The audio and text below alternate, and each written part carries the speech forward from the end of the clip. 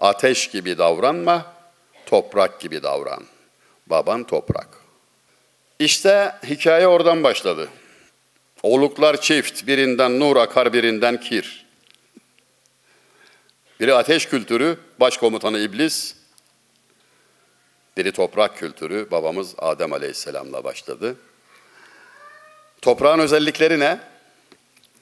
Mütevazı, kahır çeker. Ne diyordu şair? Karnın yardım gazmayınan belinen. Yüzün yırttım dırmığınan elinen. Yine beni karşıladı gülünen. Benim sadık yarim kara topraktır. İşte kültürümüzün özeti. Toprak. Toprak gibi ol. Ateş gibi olma.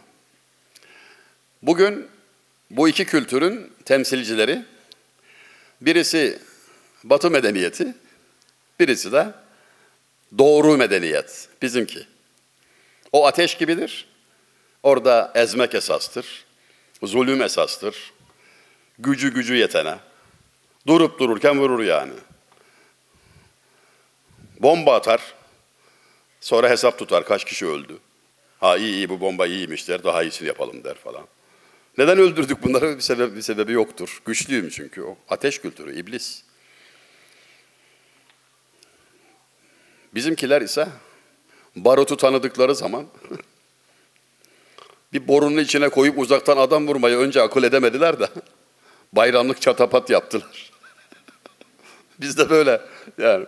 Sonra bakıldı ki ha bu, bu namussuzca da kullanılıyor. Madem öyle düşmanın silahıyla silahlanmak lazım diyerek savunma sadedinde öyle olmaz böyle olur dedik.